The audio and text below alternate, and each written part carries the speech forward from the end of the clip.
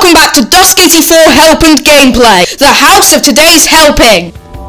Today we're going to show you how to unlock the Photo Finish achievement in Crash Team Racing Nitro Fueled. So for this achievement, you're going to want to finish a race in first place with 3 milliseconds after the second place. Then you've completed the achievement. Thanks for watching today's video. Bye folks!